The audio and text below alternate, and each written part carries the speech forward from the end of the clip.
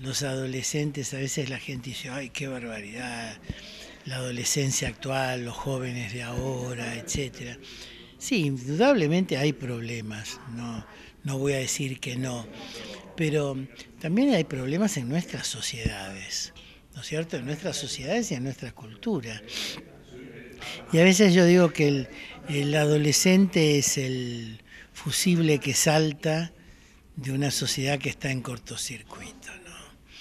Porque si tienen drogas son los adultos los que los cargan, si tienen el acceso al alcohol es porque se lo venden, eh, si hay una carga erótica en muchos, en toda una sociedad, después se, espantan por un embarazo adolescente. Entonces, hay como contrasentidos, ¿no es cierto?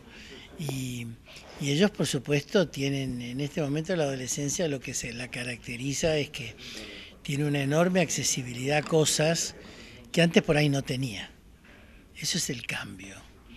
Entonces, el trabajo de la sociedad es educarlos para que ellos hagan y tengan un mejor manejo de sus, de sus impulsos, de, sus, de su vida y de su cuidado. En Uruguay ustedes eh, tienen una cifra muy importante de suicidio en, en, la niñez y en la adolescencia, porque hay, hay suicidios que son en la niñez mismo, ¿no? No, no solo en la adolescencia.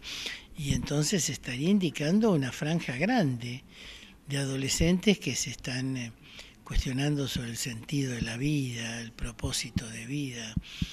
Y ahí es donde uno encuentra que hay como una especie de, carencia espiritual, un posicionamiento ante la vida.